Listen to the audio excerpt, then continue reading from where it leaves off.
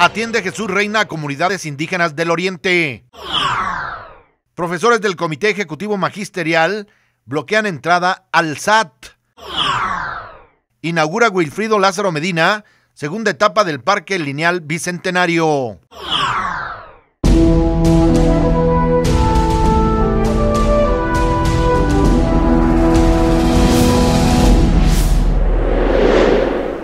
¿Qué tal? ¿Cómo le va? Con el gusto de siempre le saludamos a través de Urbis Noticias en este miércoles 7 de agosto del año 2013. Hoy como todos los días tenemos noticias importantes que compartir con usted. Vamos rápidamente a la información. El gobernador del estado, Jesús Reina García, se reunió con representantes de las etnias del oriente del estado de Michoacán. El gobernador del estado, Jesús Reina García, se reunió con 48 representantes de 30 ejidos y comunidades de los municipios de Hidalgo, Zitácuaro y Susupuato, a fin de encontrar los mecanismos ante la federación para hacer bajar los recursos y dar atención oportuna a estas poblaciones indígenas de la entidad. En el encuentro que reunió a las comunidades Mazagua y Otomí del Oriente Michoacano, Reina García señaló que existe el compromiso del gobierno federal por generar la atención integral hacia Michoacán y aprovechar los recursos naturales con los que cuenta el Estado. Reina García escuchó los planteamientos y ofreció una nueva reunión para el sábado 30 del presente mes. El Colegio de Bachilleres del Estado de Michoacán y la Fundación Aliviando el Corazón del Mundo firmaron un convenio de colaboración. El Colegio de Bachilleres del Estado y la Fundación Aliviando el Corazón del Mundo firmaron un convenio de colaboración para beneficiar a más personas en la entidad.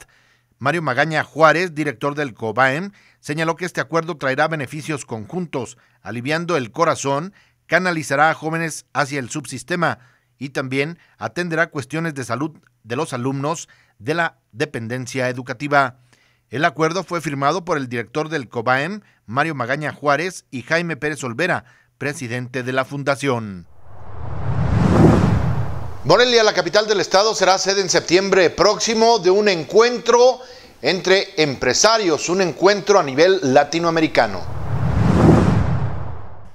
El Centro Cultural y de Convenciones Tres Marías albergará el primer encuentro de desarrollo empresarial Latinoamérica Emprende los próximos 6 y 7 de septiembre, que reunirá a empresarios de toda la República y Centro y Sudamérica, informó Jorge Bucio Lemus, presidente del Consejo Mexicano para el Desarrollo de la Micro, Pequeña y Mediana Empresa. El empresario manifestó que el encuentro busca fortalecer los vínculos comerciales de México con el resto de los países de América Latina para detonar el potencial de desarrollo de la región, por lo que invitó a los empresarios de la entidad a participar para conocer y explorar estrategias que favorezcan la exportación de sus productos en el continente. Santa Clara del Cobre te invita del 10 al 17 de agosto a la 48 edición de la Feria Nacional del Cobre y al 68 concurso nacional de cobre martillado. Disfruta la belleza de lo que elaboran las manos mágicas de nuestros artesanos. Santa Clara del Cobre. También le informo que el alcalde de Morelia, Wilfrido Lázaro Medina, inauguró la segunda etapa del Parque Lineal Bicentenario, una obra importante para Morelia.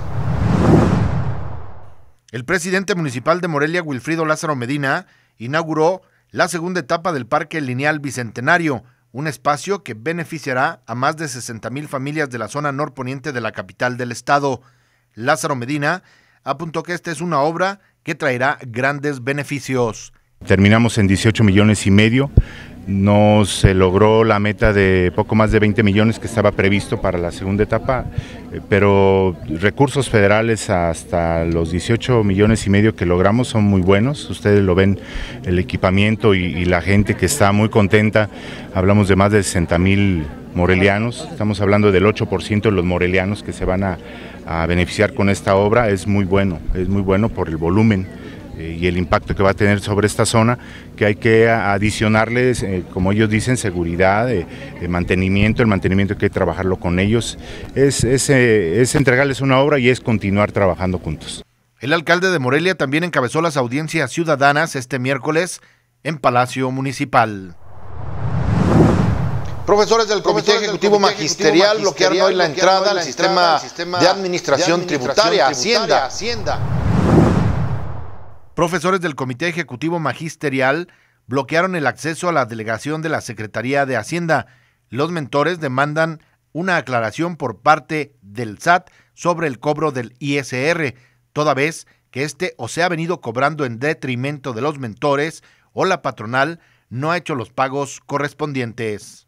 Se está haciendo mal uso del ICR de todos los maestros a nivel estado. Estamos hablando de 73 mil maestros que no se les aplica correctamente el ICR, se les está descontando de más y este incluso gente que tiene dos mil que gana dos mil pesos les descuentan 400 pesos de ICR o sea es no hay un tabulador correcto para los descuentos dentro de la Secretaría de Educación y eso es de debe de ser de conocimiento del magisterio michoacano y de que dónde está su dinero de los impuestos del ICR pues que, que lo que le preguntamos al delegado del SAT pues si realmente si el patrón está cumpliendo con eh, con estar depositando el ICR al SAT y no me pudieron contestar.